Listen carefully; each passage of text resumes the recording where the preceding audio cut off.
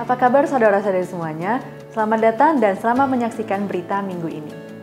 Mempromosikan program pelaporan mandiri bagi WNA yang telah tinggal melebihi masa izin tinggal di Taiwan. Mulai 1 Februari hingga 30 Juni tahun ini, Departemen Imigrasi akan mempromosikan program penyerahan diri mandiri bagi WNA yang overstay. Bagi yang menyerahkan diri akan diberikan keringanan hukuman seperti bebas dari penahanan dan membayar denda minimal sebesar 2000 NT dan terbebas dari masa cekal untuk berkunjung kembali ke Taiwan. Departemen Imigrasi telah menyiapkan jalur konsultasi gratis yang menyediakan layanan multibahasa. Festival Lentera Taiwan 2023, Kota Taipei dimeriahkan oleh Lentera. Setelah selang waktu 23 tahun, Festival Lentera Taiwan kembali ke Taipei sebagai tuan rumahnya. Tema tahun ini adalah Sumber Cahaya Taipei. Terdapat empat area pameran utama dan 12 distrik administratif kota Taipei akan dimasukkan ke dalam area pameran Festival Lampion. Ini merupakan festival lentera Taiwan dengan area terbesar dengan luas 168 hektar, memamerkan lebih dari 300 karya lampion. Terdapat sebanyak 53 konser dan kegiatan serta penampilan lainnya. Dari tanggal 5 Februari hingga 19 Februari, kota Taipei sangat dimeriahkan dengan festival lampion. Lebih dari 500 pengisi acara turun ke jalan dalam pembukaan acara. 12 area festival dibuat bersama dari rakyat setempat, perusahaan, dan kelompok sekolah untuk menampilkan karakteristik budaya dari setiap distrik di kota Taipei. Terletak di area pameran asli, Taman Budaya, dan Kreativitas Songsan. 200 imigran baru berpartisipasi dalam menciptakan 8 area khusus imigran baru.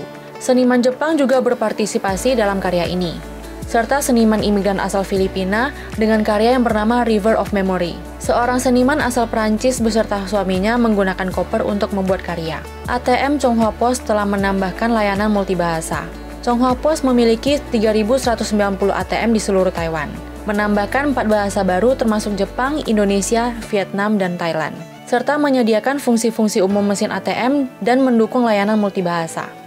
Layanan mesin ATM Pos menyediakan layanan bahasa Mandarin, Inggris, Jepang, Indonesia, Vietnam, dan Thailand dan membantu lebih dari 80% warga asing di Taiwan. Departemen Imigrasi mempromosikan program penyerahan diri secara mandiri di Taipei Main Station. Departemen Imigrasi secara khusus mengadakan konferensi pers di Taipei Main Station pada tanggal 5 Februari. Di aula lantai pertama Taipei Main Station juga terdapat beberapa kios makanan dari Filipina, Vietnam, Thailand, dan Indonesia. Setiap kios menyediakan lima macam cemilan tradisional, total terdapat 1.600 jajanan diberikan kepada pengunjung secara gratis. Pihak imigrasi juga mengutus beberapa petugas yang menguasai bahasa Inggris, Thailand, Indonesia, dan Vietnam secara bergiliran mensosialisasikan kebijakan ini kepada masyarakat dalam berbagai bahasa. Acara ini juga mengundang band Indonesia dan rapper terkenal generasi kedua imigran baru asal Vietnam untuk meramaikan acara ini. Boneka cosplay petugas imigrasi menarik perhatian pengunjung. Banyak imigran baru yang mengenakan pakaian tradisional dalam menghadiri acara ini, serta berfoto dan mengunggahnya ke media sosial, kemudian akan mendapatkan hadiah. Imigran baru yang hadir juga ikut mempromosikan program ini melalui siaran langsung. Wakil Menteri Kementerian Dalam Negeri meminta warga asing yang tinggal melebihi masa izin tinggal di Taiwan untuk melakukan penyerahan diri.